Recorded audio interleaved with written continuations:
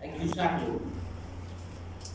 Eh, hoy eh, están instalando, está instalado ahí, hasta lo que sé, el C5. Ahí. Están utilizándolo ya. Hay que utilizarlo en su totalidad y hay que hacerlo que sea redituable, que a lo mejor nos permita eh, ser un espacio que no lleve al Estado a pagar tantas rentas. Ya está ahí. Yo inclusive quiero decir, quiero decírselos que antes de que yo este, supiera que ahí estaba ya el C5, ¿saben qué había pensado yo? Ese edificio venderlo.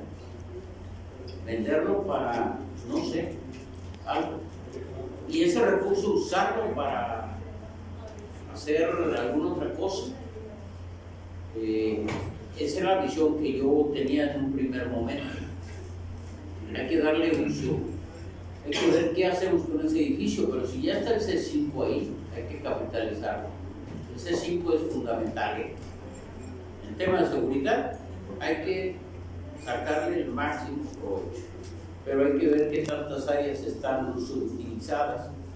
Recordarán que hace dos años, después del anuncio pomposo, en el sentido de que se mudaban las secretarías a los estados, se puso a disposición del gobierno federal para hacer ahí la Secretaría de Salud. Pero en eso se quedó, también en una buena propuesta, en una buena oferta que nunca se consolidó. Hay que poner atención ahí, pero no solamente en ese.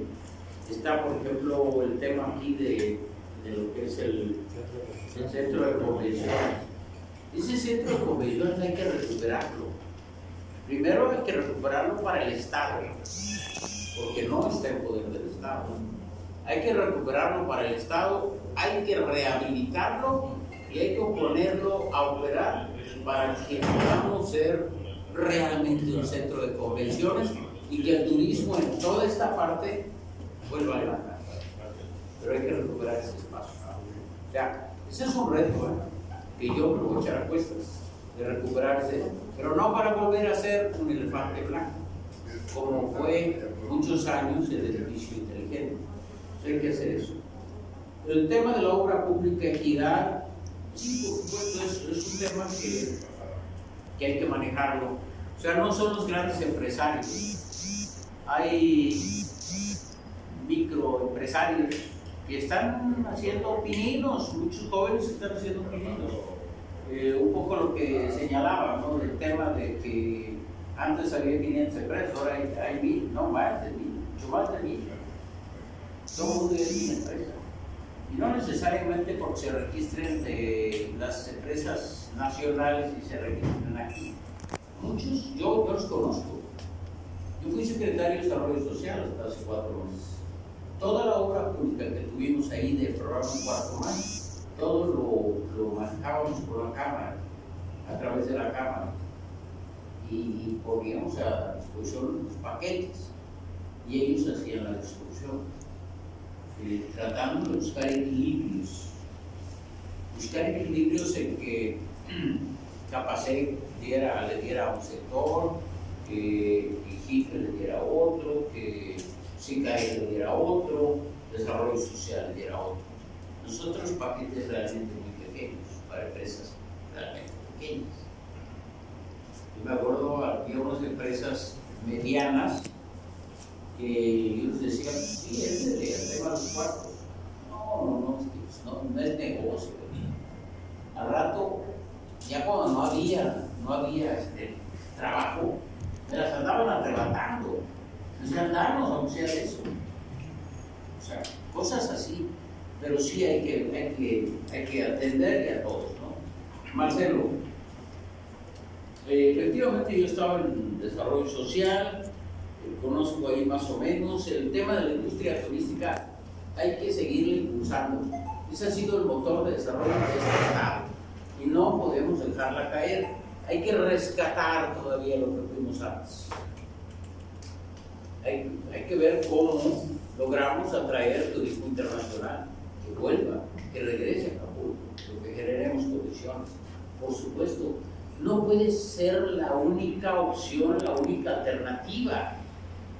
Yo tengo mucha claridad de qué es lo que quiero hacer en el campo guerrerense. Primero, una inversión sin precedente para el campo guerrerense. Es un compromiso que estoy haciendo con mis hermanas y hermanos campesinos. Una inversión sin precedente. Vamos a empezar, vamos a comprar cientos de tractores, vamos a empezar a meter tractores, tecnificar el campo, paquetes tecnológicos, eh, semilla mejorada, hay que, el tema del fertilizante, hay que eh, lograr que realmente llegue a donde se necesita y que podamos atender. A ver, somos el primer productor de mango en este país. Guerrero, el Estado, es el primer productor, pero no somos el primer exportador. Todo el mango que se produce acá en la Costa Grande se lo llevan a Michoacán, se lo llevan a Colima y allá este, lo etiquetan y lo exportan. ¿Qué es lo que pasa? No estamos, no estamos completando cadenas productivas, no estamos llegando hasta el consumidor, no lo estamos haciendo. ¿Qué necesitamos hacer?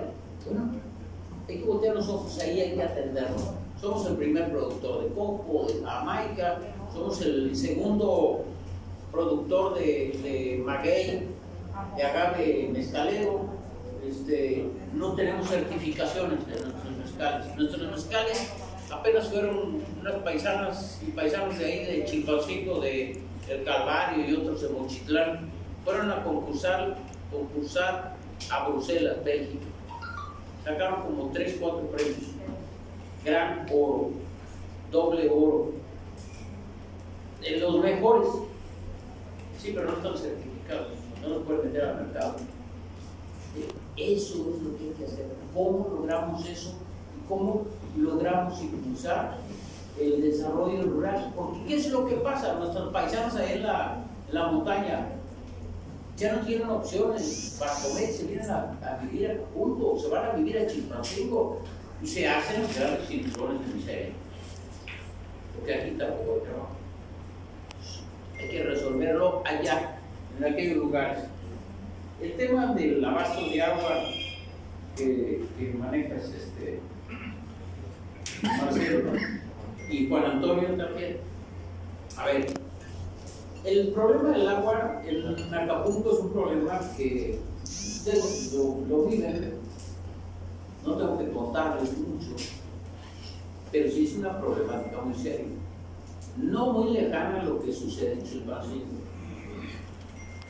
Uno de los grandes problemas que se tiene es, primero, que del 100% que tú tienes de agua, bombeas de 30 y 40%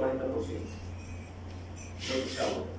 Obviamente hay que hacer una reingeniería del organismo, de los dos organismos.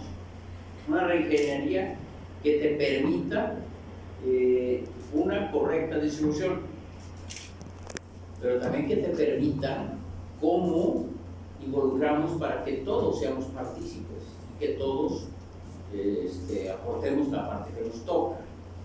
Pero no solamente eso, también importante la reingeniería al interior. ¿Cuántos trabajadores tienen cada organismo? ¿O cuántos operan? ¿O cuántos pueden operar? ¿Qué te gusta? ¿Por el 25% pueden operar ese organismo? Ahí, ahí está, ahí se va el dinero. ¿Y qué es lo que pasa? No hay dinero para pagar bombeos. Es Acapulco y es Chilpancingo. Te doy un dato. Tú llegaste al tercer año, Tomás. Cuando yo dejé el ayuntamiento de Chilpancingo, la segunda ocasión, estaba yo bombeando 600 litros por segundo a la ciudad. Hoy bombean 250. Se han agotado. Y, no, pero no es eso. Mochitlán va para abajo. Pero, o sea, el problema es el pago, el costo de la energía eléctrica. O sea, ¿por qué no bomberos? Porque no tienen dinero para pagar la energía eléctrica. Y ese es uno de los grandes problemas. acaban de meterle otros 60 litros por segundo a Chilpancingo, pero vuelven, están parados porque no tienen para pagar la energía eléctrica. ¿Cuál es la solución? Porque no solamente es hablar de problemas, hay que hablar de soluciones. Yo afortunadamente llegué y ya dije 600 litros. Todavía cuando yo salí, le dejé pagado al siguiente presidente tres meses de energía eléctrica. Sí, pero ahora debe 100 millones de pesos de energía eléctrica. ¿Y cuándo los va a pagar? Esta administración no tiene la agencia. No, o sea, no estoy hablando de aquello.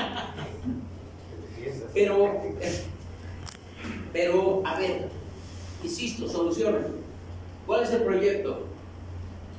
Hay que, hay que eh, en Chilpancingo ya está proyectado. Se va a hacer este año. Se va eh, a instalar un parque, una granja, como le llaman, de, de paneles solares. ¿Qué es lo que vas a tener? Poder bombear 24 horas. Hoy bombean en Chilpancingo, bombean entre 15 y 16 horas pero bombean el 30% de lo que pudieran estar bombeando. Hay que hacerlo así. ¿Por qué? Porque ya no van a pagar energía eléctrica y todavía no pagan energía eléctrica, van a poder dar agua. Y cuando tú des agua puedes cobrar. Porque si no dicen, a ver, tú haces como que me das agua y yo como que te pago. Y ahí se queda en ese círculo vicioso. Y eso es lo que hay que hacer en Acapulco. Pero, ¿qué es lo que necesitamos? Fundamental, alinear. A ver, el gobierno estatal y el gobierno municipal alineados. Porque de lo contrario, cada quien jala para su agua, para su molino, ¿no? Se hizo vulgarmente. Eh, eh, En la actualidad, vean, este, el gobernador tiene la disposición, pero presidenta no. Y, bueno, es un, es un problema. Aquí en Acapulco, actualmente, del 100% que pudieran estar operando, anda como en el 40% actualmente. Y lo acabo de constatar con el director. pues, El tratamiento de aguas residuales, no sé, tienen como no sé cuántas plantas tratadoras, 15 o más, solamente opera 3. Hay que atender. Pero ¿cómo entenderlos de manera conjunta? Pero hay que estar alineados. Porque al contrario, seguimos por ahí. Y solamente para concluir, la obra pública de empresas guerreras es que es un poco lo que ya decía, ¿no? Este, Antonio. Adelante.